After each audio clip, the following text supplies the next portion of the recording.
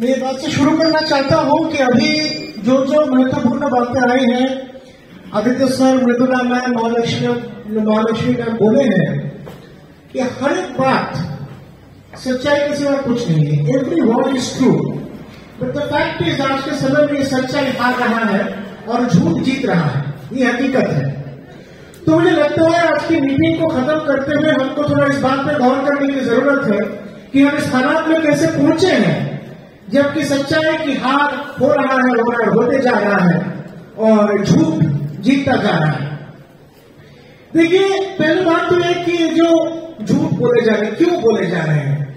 जो मित्रों ने बोले कि अब झूठ को इतना बड़ा चढ़ा के बोला जा रहा है कि लोग को लगेगा कि भाई it must be true but that is not the case झूठ को बड़ा चढ़ा के इसीलिए बोला जा रहा है क्योंकि जो हिंदू राष्ट्र बनाने की कोशिश है उसका कोई सच आधार भारत के इतिहास में मिलता नहीं है।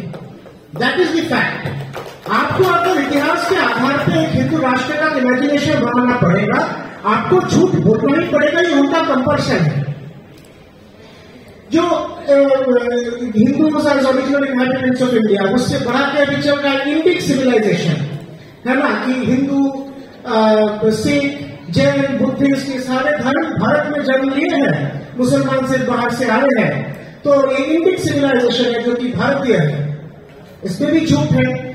आप मैं आपका कहता हूँ कि सिर्फ़ इस्लाम इंडिया को कंट्रीब्यूट किया ऐसा नहीं है। इंडिया भी इस्लाम में बहुत बड़ा कंट्रीब्यूशन रखा है। जो सूफिज्म की बात होती है Sufism did India become hub of Sufism क्योंकि भारत में वो एक वो एक कल्चर था जहाँ अलग अलग धर्म के लोग एक दूसरे से सीखते थे जानते थे। तो अब इसको कैसे गैर भारतीय कह सकते हैं? साथ में जो बाकी धर्म में लोग को एक, एक ब्रैकेट में डाल के भारतीय है बाकी गैर भारतीय है तो ये सारी चीज़ें लोग कह रहे हैं। फैक्ट इज़ की India is a land of migrants Aryans भी बाहर से आए थे मुसलमान भी बाहर से आए हैं। टेगोर का पोएम बहुत बार पढ़ा जाता है भारत तीर्थ India is a land of pilgrimage of many communities have come and settled over a period of time तो ये सच है, अब इसको तोड़ने के लिए, इसको काटने के लिए अलग अलग तरह का झूठ बोले जा रहे हैं। But the sad reality is that ये झूठ is not only very wide spread it has become very effective in लोग जनता में सच में, जनता तक पहुँच पाए हैं अपनी बात को लेकर। ये तो मैं कुछ बातें रखना चाहता हूँ कि कहा हमसे शायद चूक हो गई तो देखिए, हमारे देश में एक समय में पॉपुलर साइंस मूवमेंट का इमेजिनेशन था। मैं कहता हूँ कि समय आ गया है, बहुत देर हो चुका है, पर अभी भी समय है कि हम लोग इसी तरह से एक पॉपुलर हिस्ट्री प्रोजेक्ट के बारे में सोचें। अब जनता तक इतिहास को आप कैसे ले जाएँगे, उसका एक ज़रिया है टेक्स्ट बुक दूसरा ज़रिया सोशल मीडिया पर आरएसएस आज है ना, ये सिर्फ़ टेक्स्ट बुक सोशल मीडिया या इवन सिर्फ़ स्कूल के ज़रिए नहीं है। इन लोग सुसंगठित तरीके से इतिहास को लिखे हैं, झूठ को फैलाए हैं। एक संगठन के बारे में पढ़ेगा अखिल भारतीय इतिहास संकलन योजना। इस योजना का यूनिट हर गाँव में है। और योजना लोग करते क्या है? गाँव गाँव में जाके जिनको हम अपने एकेडमिक जगह से कहते हैं एमेच्योर हिस्टोरियन जिनके साथ काम करते हैं, बोलते हैं कि भाई देखो, तुम्हारा काम काज के काम काज को तो लोग भाव नहीं देते हैं, क्योंकि ये तो तुम्हारा नैरेटिव को मानने को तैयार नहीं, तुम हमारे साथ आ जाओ। और हमारे साथ आ जाने का मतलब क्या होता है? जो गाँव का इतिहास है, वो वैसा ही रहा। सिर्फ़ शुरू में जुड़ गया कि गाँव का शुरुआत तब हुआ था जब राम और लक्ष्मण यहाँ से गुजरे। थे ये गाँव का शुरुआत तब हुआ था जब औरंगज़ेब से तंग आके सारे हिंदू भाग के यहाँ पहुँचे थे। काम हो गया, बात समझ लीजिए। दैट इज़ एनफ जो एक बेसिक लेवल पे आइडेंटिटी का मैनिपुलेशन हो रहा है for that this is enough and this is been done over decade systematically with immense commitment with immense dedication तो आज जो सोशल मीडिया में हो रहा है, जो नैरेटिव चल रहा है, हर बार कहता हूँ कि देखिए, ये लड़ाई सिर्फ़ नैरेटिव वार नहीं है। ये नैरेटिव चलता क्यों है? चलता इसीलिए है क्योंकि एक संगठित तरीके से इसको फैलाया जाता है। ओवर पीरियड ऑफ़ टाइम इसी तरीके से एक ऑडियंस बनाया गया है जो इन बातों को सुनने को तैयार है। तो ये जो एक सिस्टमैटिक उनके तरफ़ से पॉपुलर हिस्ट्री का एक एफर्ट रहा है, हम लोग को ये करना पड़ेगा। वो किए बिना लड़ाई हम जीत नहीं सकते। दूसरी तरफ़ है ऊपर के लेवल पे, जो नाम आता है, विक्रम संपर्क साई दीपक और ये सारे लोग, इन लोगों का खेल कुछ और है। देखिए, इन लोग, इन लोगों का जो बर्डन है कि वो एक एजुकेटेड जनता तक बातों को पहुँचाए अब thanks to the efforts of people sitting in this panel over many decades ये बात जनता तक हम पहुँचा पाए हैं कि डिस्टॉर्शन चल रहा है। इसीलिए आज जगह जगह ये सवाल उठाया गया है कि आपकी बात का आधार क्या है? और इसका भी जवाब इन लोग निकाले। मैं उदाहरण देना चाहता हूँ, आप इन लोग किताब पढ़िए। Unlike histories of the past जो अस्सी के दशक में, नब्बे के दशक में जो पैम्फलेटियरिंग चलती थी, उस पैम्फलेट से किताबों में ग्रेजुएट किया है लोगों और ये किताबों का क्या है? जी सबको पता है कि हिस्ट्री का मेन चीज़ है फुटनोट साइटेशन इन लोग बड़े चालाकी से साइटेशन का इस्तेमाल करते हैं। मैं आसान से उदाहरण देता हूँ। मान लीजिए आज की जो मीटिंग है, इसका इतिहास का लिखना चाहते चार लाइन में लिखा कि इस तारीख पे इस मीटिंग का आयोजन किया गया। मीटिंग में हमारे वरिष्ठ इतिहासकार थे। मीटिंग में सत्तर अस्सी सौ लोग सुनने आए थे। मीटिंग सफल रहा।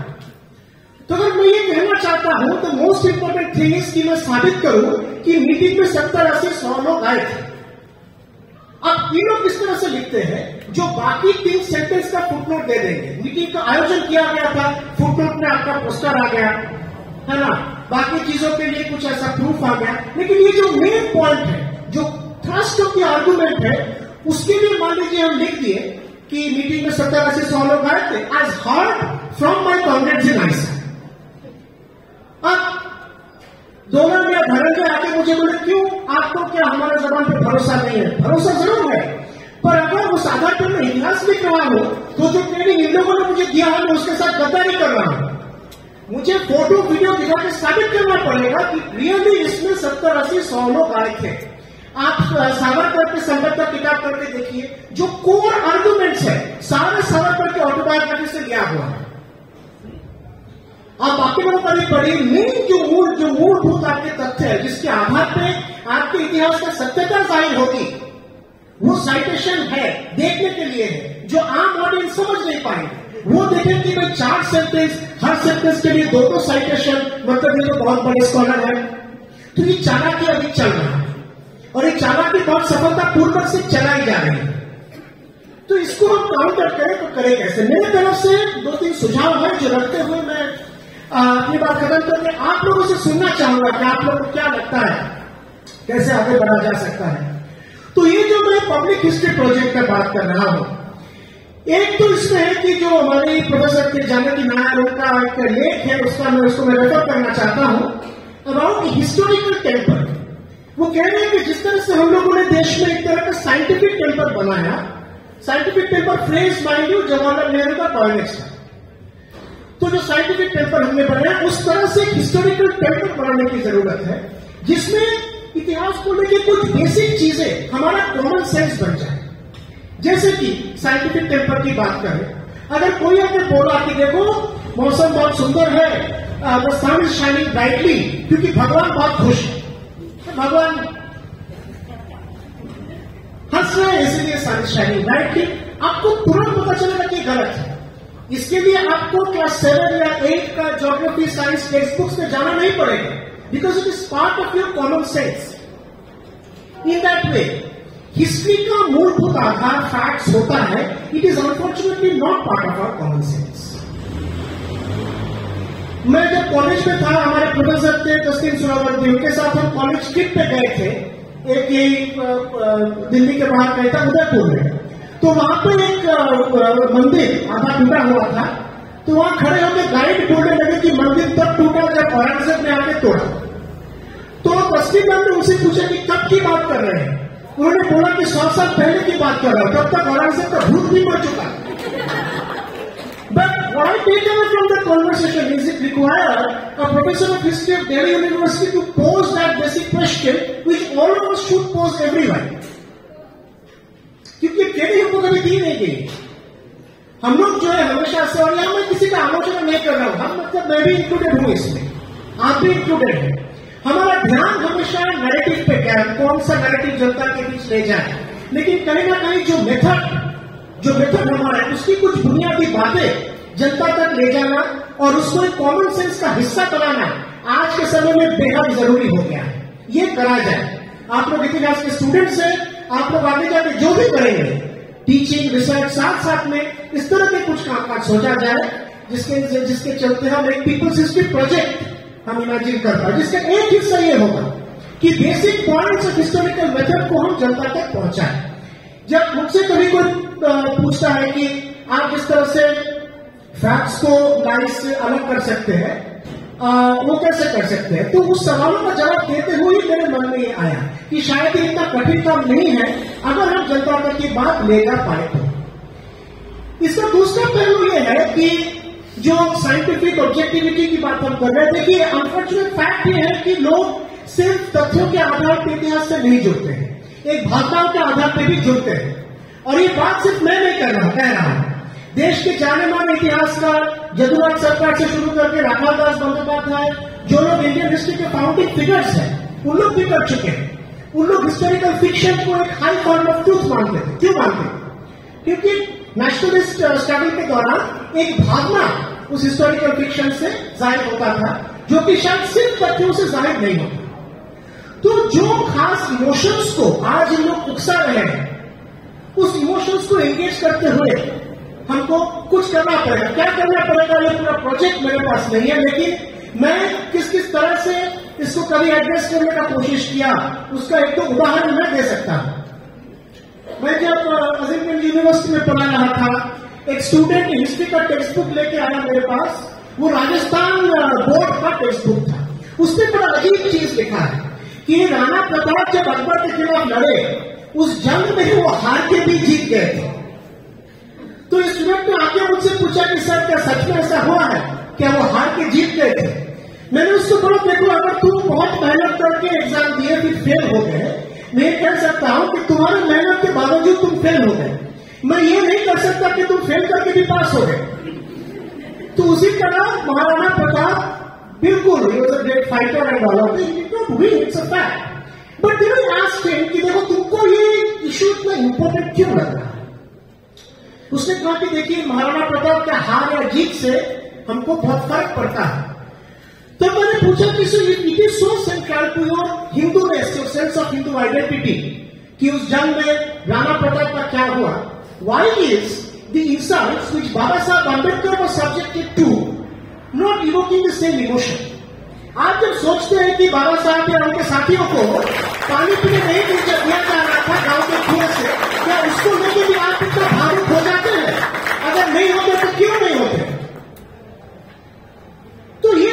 इतिहास को तोड़ मरोड़ के एक झूठा इतिहास बनाने का प्रयास है। इसमें ये जो भावना का जो डायमेंशन है, इसको हमें देखना पड़ेगा ये बात सिर्फ़ तथ्यों को तोड़ने मरोड़ने की नहीं है। जो सावरकर पे आया था कि किताब में भी डाला गया है, सावरकर एक चिड़िया पर सवार होकर जेल से भाग गए। It's a very good example see it is brilliantly incorrect it is nonsense it has so much traction. Because the fact is not so important for people who are consuming it. ये जो audience तैयार किया गया इतने सालों से सावरकर का bravery लोग देखना चाहते हैं। ब्रेवरी क्या है? चिड़िया पे सवार हैं, जेल से भाग गए तो ये जो स्ट्रॉन्ग इमोशनल कंटेंट है, मुझे लगता है शायद हम जो साइंटिफिक ऑब्जेक्टिव हिस्ट्री पे हम लोग जो इतना ध्यान देते हैं, कहीं ना कहीं यहाँ हम एक पॉइंट को मिस करते हैं। और इस पॉइंट पे किस तरह से हम जनता को एंगेज कर सकते हैं इसमें हमको सोचने की ज़रूरत है। And third and last point ये पॉपुलर हिस्ट्री का क्या हो सकता है? देखिए, एक तरफ़ तो है जो झूठ कहा जा रहा है, उसको नकारना। सच्चाई को बताना। लेकिन साथ में ये झूठ को ये इक्का दुक्का इकलौता झूठ नहीं है नैरेटिव है, जो बात इन दिनों में रखा। एक हिंदू राष्ट्र का नैरेटिव बनाया जा रहा है। तो इसके खिलाफ एक काउंटर नैरेटिव देने की भी ज़रूरत है कि हम इतिहास को किस तरह से देखते हैं, और भविष्य को किस तरह से देखते हैं। जो बार बार डीकोलोनाइजेशन की बात की जाती है, कि डीकोलोनाइजेशन अधूरा रहा। अभी नए क्रिमिनल लॉ जिसपे कल हमारा एक मीटिंग चल रहा था नेशनल एजुकेशन पॉलिसी ये सब के ज़रिए डीकोलोनाइजेशन हो रहा है। देखिए, हम जो भारत के जन कल्याण की धारा के लोग हैं, जिसमें दलित, बहुजन, आदिवासी, नारीवादी, वामपंथी सारी धाराएँ शामिल है। तो इस धारा के लोग हम भी हमेशा से मानते थे कि डीकोलोनाइजेशन पूरी तरह नहीं हो पाया।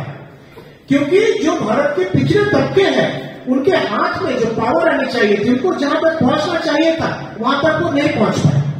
लेकिन ये जो डीकोलोनाइजेशन का हवा चल रही तो कुछ और है।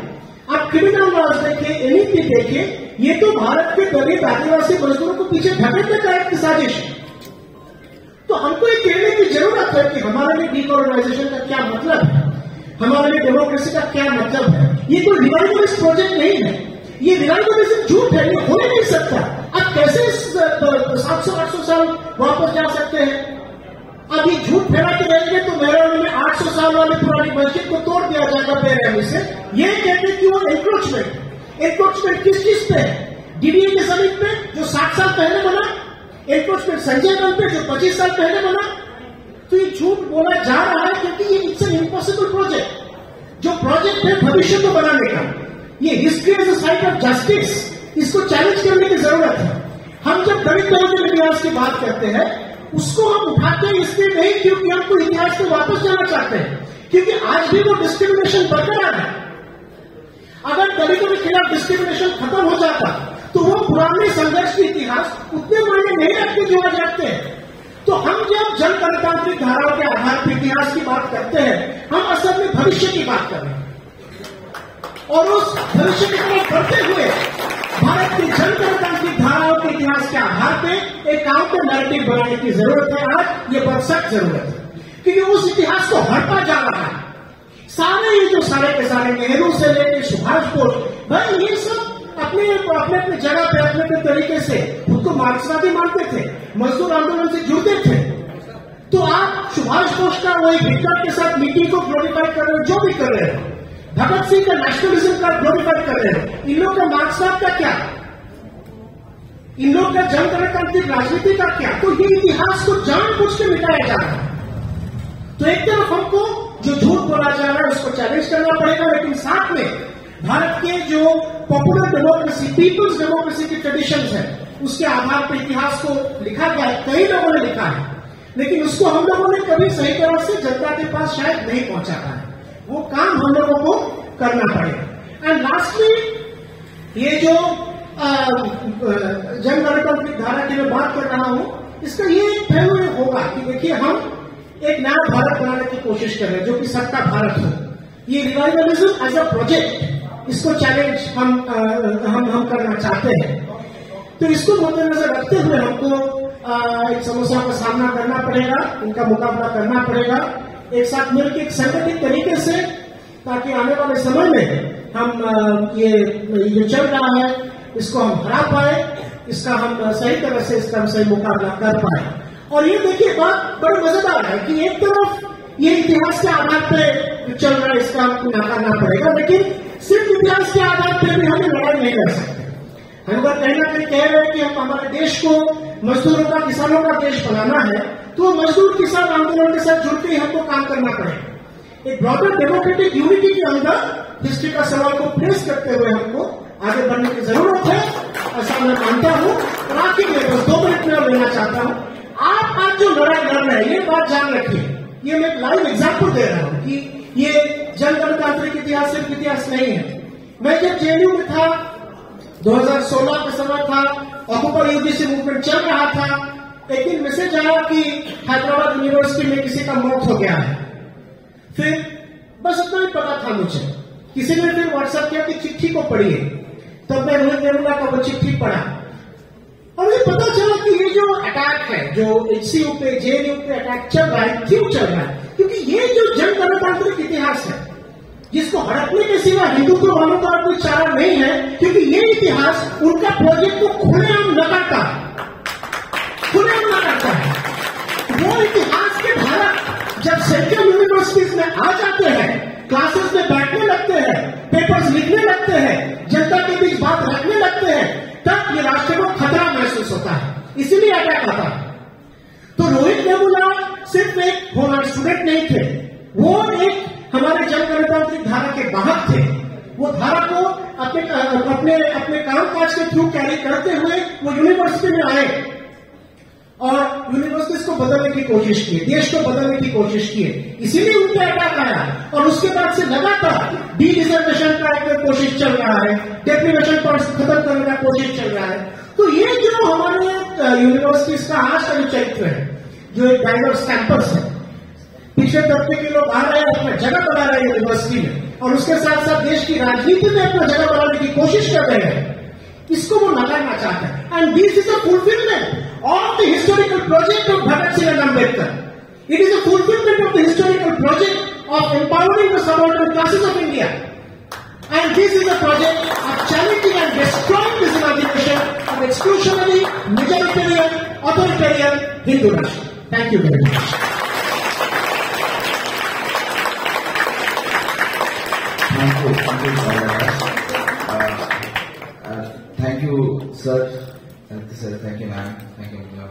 Akash. आपका कोई सवाल हो हाँ मैं एक एक करके ठीक है ठीक है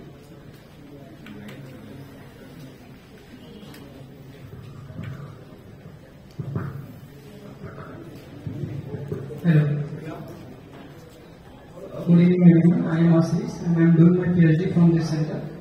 Uh, I have a question that happens to be a controversial, but since I have it, I would like to pose it to all of you.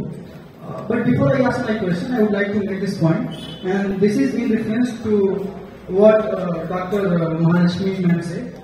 Uh, when she talked of the origin of the Aryan race, she made it clear that the Aryans were alien to this land. Uh, But uh, I would say that uh, there are uh, different scholars who have given different opinions on this theory. There are scholars who have proven this fact beyond any doubt that the Aryans were very much native to this land. I would like to cite the example of Dr. Bhimrao Ambedkar, who himself, in his book Who Was Sudras, made it clear that Aryans weren't alien to this land. They were very much part of this land. They were very much part of the culture and civilization of this land. So I would say that I would, I, I would have to, I would have to in a proper manner disagree with what you said, madam. And my question is, uh, do you believe that history is being distorted? And if you believe, then why do you believe so? Because if you have to argue that history is being distorted by the current deputy government, then uh, I must say then one can argue that there are as many histories as there are historians. So history happens to be a game of narrative. So once you become a historian, you create your own narrative. So that's my question. And how do you propose to refute? How you propose to refute arguments? And if you still believe that Aryans alien, they were an alien race, then you have to disagree with Dr. Bhimrao Ambedkar. You have to accept the fact that whatever he said was wrong. So how do you propose to challenge that? Good evening ma'am sir मेरा सवाल Aditya sir और विद्युला मुखर्जी से Mukherjee ma'am से है कि कुछ दिनों पहले हम एनएमएमएल में थे Nehru memorial museum and library में तो वहाँ पर एक प्रोग्राम हो रहा था। प्रोग्राम में जो अपने आप को हिस्टोरियन कहते हैं उनके ट्विटर पर फॉलोअर भी 1.1 मिलियन है। तो सामने जो तस्वीर लगी थी नेहरू जी की, वो मुद्रा विचार की थी। तो वह कह रहे थे कि नेहरू जी इसलिए इस विचार वाली मुद्रा में है कि सोच रहे हैं कि अगली आठ से दस किताबें कौन सी हैं जिसको हमें बैन करनी है। एक दूसरा जो वर्तमान समय का दौर जो चल रहा है, जहाँ पर चाय वाले से लेकर सब्ज़ी वाला तक इतिहास विशेषज्ञ है और वही सेंट्रल सेक्रेटरिएट से लेकर के गाँव में जो एसडीएम पटवारी और जो प्राइमरी स्कूल के मास्टर साहब हैं, वह भी इतिहास विशेषज्ञ है। आप देखेंगे कि जब किसी व्हाट्सएप के ग्रुप या कहीं भी यदि वो जो कंटेंट हिंदी के बजाय इंग्लिश में है तो उसको डॉक्टर और इंजीनियर भी सत्य मान लेते हैं कि नहीं, यही असली वास्तविक इतिहास है। आप देखेंगे कि हायर एजुकेशन में जो आबादी है, छात्रों की जनसंख्या के अनुपात से बहुत ही कम है। और जेबी जैसे इंस्टीट्यूशन में तो वह संख्या नाम मात्र की है। तो मेरा सवाल आप दोनों से यही है कि जहाँ एनएमएल से लेकर के यूनिवर्सिटी और इंस्टीट्यूशन तक जब इस तरीके से झूठ को फैलाया जाए या सेंट्रलाइजेशन किया जाए, जहाँ चाहे सब्ज़ी की दुकान से लेकर के सेक्रेटरिएट तक इसकी इतिहास विशेषज्ञ बने हों, जो चाय वाला भी नेहरू के ऊपर पीएचडी किया है तो सब्ज़ी वाला भी मुसलमानों के ऊपर पीएचडी किया हुआ है। तो ऐसे दौर में, जहाँ झूठ बहुत पहले से प्रचारित किया जा रहा है, और वर्तमान समय में जिसका कि आकाश जी ने यूज़ किया सब कलेक्टिव जहाँ पर एक संगठित तरीके से इंटेलेक्चुअल के जगह पर और दूसरा जो इतिहास संकलन समिति है। इतिहास संकलन समिति का इस प्रकार से या दूसरे में रीजनल यूनिवर्सिटीज में इनकी बेहतरीन बैठकें होती हैं और बेहतरीन तरीके से अपनी बातों को आगे करते हैं। तो मेरा सवाल यही है कि यूनिवर्सिटीज इस स्पेसेस से लेकर के, जहाँ पर चाय और सब्ज़ी की दुकान से लेकर के गाँव तक इस तरीके से प्रसार हो रहा है और जहाँ पर सत्ता का संरक्षण मिले तो इसको आप कैसे टैकल करेंगे? Thank you I would, I would, I would like to clarify that uh, the point that I made, that there are as many histories as there are historians. I would like to make it clear that it was said by Hayden White in his work Meta History. So these are not my words. These are his words. एक सवाल एक सवाल मैं पूछूं Please keep the questions हाँ short. हाँ जी मैं बिल्कुल शॉर्ट Refrain from comments. हाँ जी हाँ जी गुड इवनिंग मैम मैंने कुछ और है फ्रॉम सीपीएस पर्सनल